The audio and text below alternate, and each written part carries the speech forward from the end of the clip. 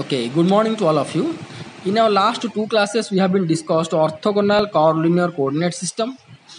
In detail, we have been discussed. Okay, and we found these important results, which will be required for other derivations. In this class, we are going to discuss gradient in terms of orthogonal curvilinear coordinates. Okay, so let's start. As we have been discussed previously that this space where both curvature coordinate or curvilinear coordinate and Cartesian coordinate are coupled with each other, that is called as your OCC or orthogonal curvilinear coordinate system, where you can see that the at least three surfaces are intersect with each other, which will define entire uh, space in 3D. Okay, now in this OCC, we are going to consider a scalar point function. Scalar point function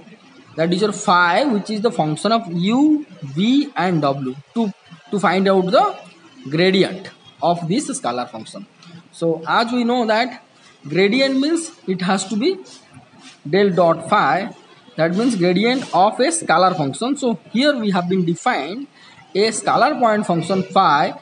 in orthogonal coordinate system which is the function of u, v and w. Right.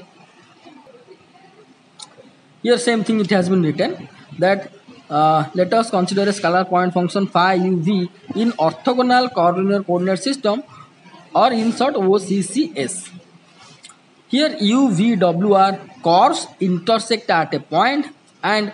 e1 cap, e2 cap, and E3 cap are unit vectors along tangents to chords. These unit vectors are mutually orthogonal with each other at intersect point whatever we have been discussed in our last class. Now gradient of scalar, scalar point function phi will be written as will be written as this one del phi u v w will be equal to five one E one cap five two E two cap five three E three cap here five one five two five three are unknown parameters और unknown quantities what are to be determine how here see Previously we have discussed that U, V, W and X, Y, Z both are coupled with each other. That we have been discussed uh, in our last class. So hence position vector is also a function of u, v, w. See, he, see here u, v, w that means curvilinear coordinates coupled with Cartesian and Cartesian also coupled with curvilinear. So hence position vector also a function of u, v, w right so here you can see this is the position vector right from this origin to this point this is the position vector which is nothing but i cap x j cap y k cap z in your cartesian coordinate system as xyz coupled with u, v, w. so r can be written as in this format that is your function of u v w okay because here x is the function of both uvw y of function of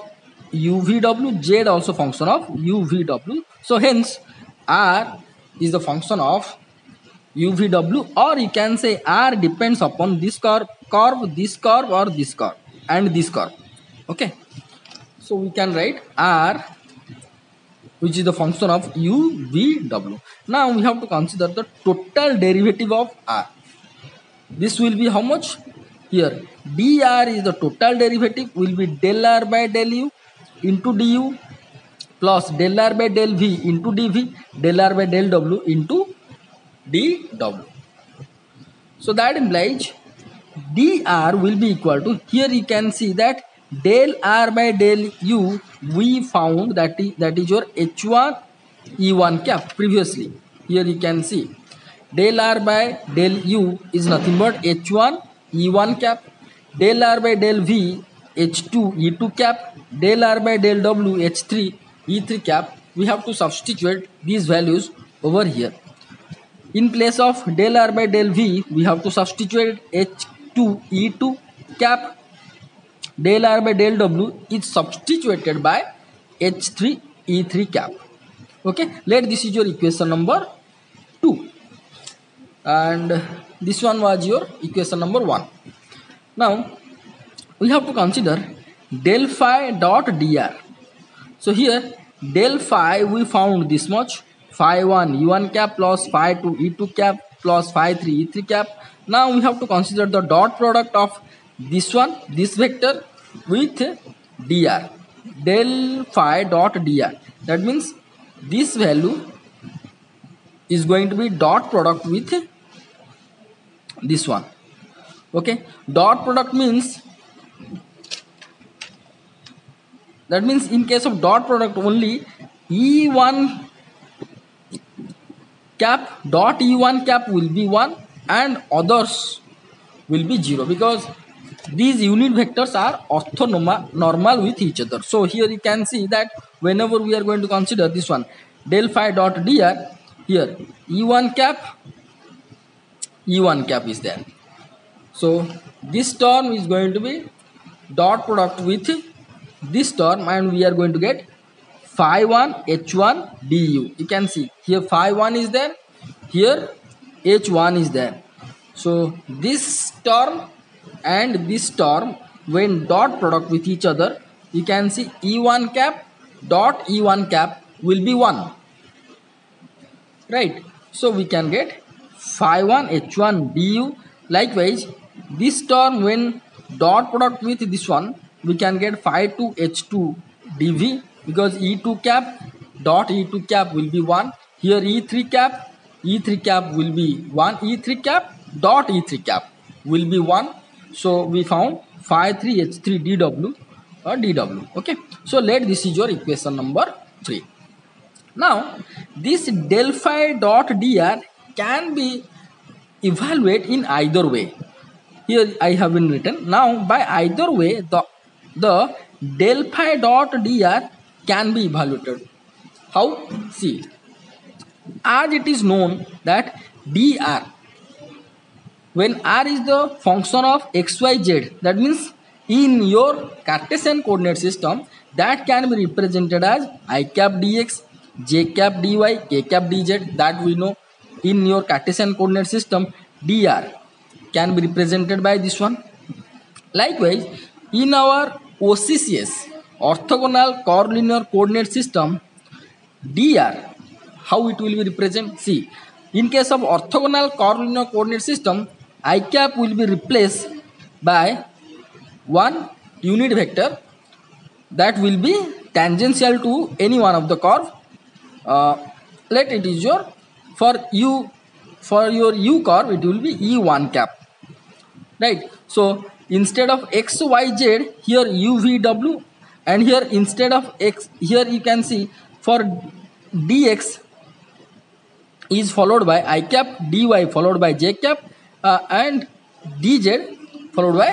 k cap. Likewise, du has to be followed by e1 cap if we are going to consider r is in your OCCS. If uh, position uh, vector r is in OCCS orthogonal coordinate system then dr will be e1 cap du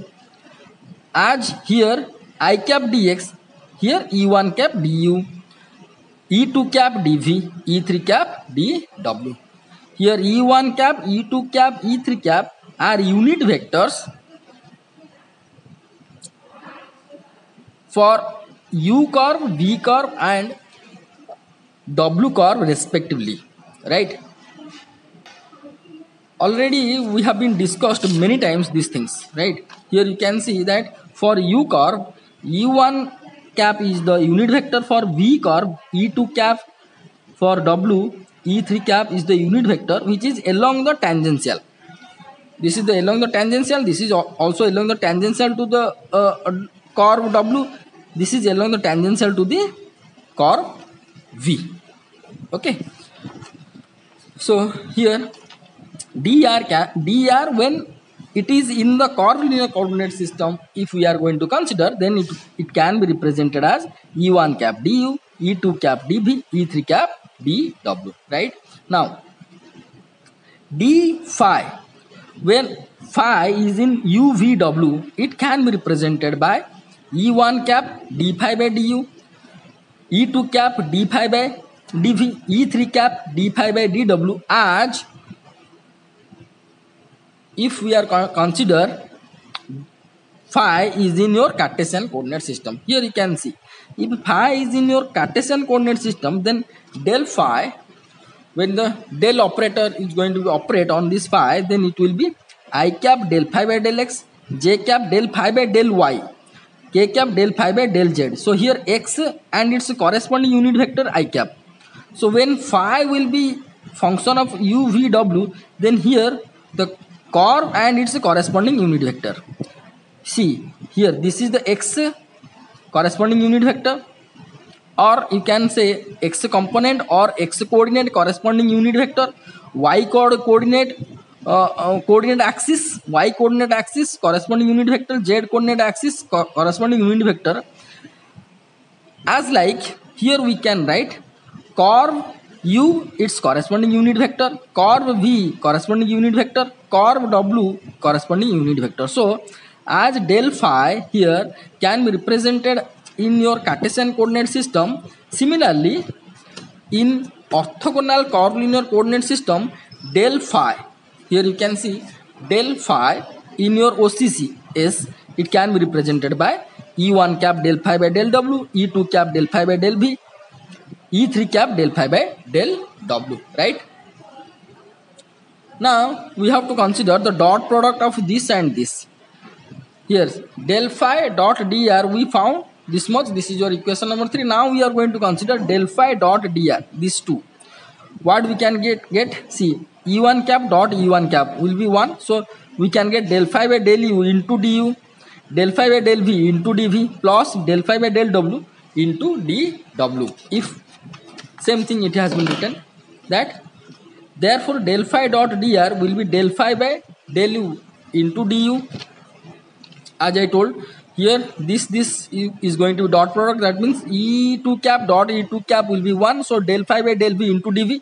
and this one will be del phi by del w into uh, dw same thing it has been written that del phi by del v dv plus del phi by del w d dw let this is your equation number 5 now we are going to compare equation number 3 and equation number 5 here equation number 5 represents del phi dot dr this much and equation number 3 is represents the same del phi dot dr equal is this much equation number 3 now both the lhs are same right so if we are going to compare the equation number 5 and 3 both the LHS are same here delphi dot dr here also delphi dot dr so obviously the RHS will be same that means this value will be equal to this much if it is so then each and every term here you can see delphi by del u into du here phi h1 du so du and du both are same so obviously del phi by del u will be equal to how much phi h1 likewise phi h2 will be how much del phi by del v likewise del phi by del w will be how much phi h3 right eh, sorry phi 3 h3 okay so same thing it has been written over here now comparing 3 and 5 we get phi 1 h1 is your del phi by del u. Therefore, phi 1 will be 1 by h1 del phi by del u. Okay. Uh, and phi 2 h2 equal to del phi by del v. Therefore, phi 2 will be equal to 1 by h2 del phi by del u del v. From this, it has been uh, evaluated, right? Here, phi 2 h2 will be uh, divided this side. So likewise, phi 3 H3 will be del phi by del W. Therefore, phi 3 will be 1 by H3 del phi by del W. So initially we intend to find out phi 1, phi 2, phi 3 and here we got the values of phi 1, phi 2, phi 3. Now we are going to substitute phi 1, phi 2, phi 3 in equation number 1. What we can get? The equation number 1 is your origin first equation. Okay. So here instead of phi 1 what we can substitute? We can substitute 1 by h1 del phi by del u. Okay so one by H one del five by del U in two E one cap already is G here five two E two cap five three E three cap so instead of five two what we can we can put we can put one by H two del five by del V so one by H two del five by del V E two cap and last term is five three E three cap so five three is this one I just substituted over here one by H three del five by del W E three cap so this is our required expression of gradient of scalar function phi which is the function of uvw in occs that is your orthogonal coordinate coordinate system so from this result we can note something some important notes here you can watch these uh, notes are are required very much essential for our uh, coming lectures here you can see suppose phi is only u here phi is the function of u v w now we are going to consider phi is only u only u that means uh, it, is, it, is, it is function of only one curve suppose so del phi will be how much del u okay if del phi equal to del u that implies uh, so so hence we can we can get del phi equal to del u equal to this term only because as phi is equal to u only so obviously del phi by del v will be 0 del phi by del w equal to 0 you got my point see phi is equal to phi u that means only the function of u so here del phi that means del phi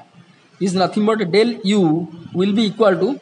this term only because del phi by del v or you can consider del u by del v del v del u by del w both are will be 0 so this term this term will be cancelled out so we can get del phi equal to del u will be equal to this much term that means 1 by h1 del phi by del u into e1 cap right so here if phi equal to u if phi equal to u then del u by del u equal to 1 so we can get e1 cap by h1 right likewise if phi equal to v then del phi equal to del v will be equal to only this term not this term not this term these two terms will be cancelled out so 1 by h2 del phi by del v e2 cap here phi is nothing but v so del v by del v will be 1 so we can get e2 cap by h2 likewise when phi equal to w we can get uh, del phi or del w will be e3 cap by h3 so these three uh, important nodes will be required in our uh, next classes so this is our the uh, expression of the gradient of a scalar function in occs so thank you so much for watching this video in our next class we are going to discuss divergence in terms terms of uh, occs that that means divergence of a vector function in terms of orthogonal coordinate system so thank you so much for watching this video i suggest write down the note carefully and ready for the next class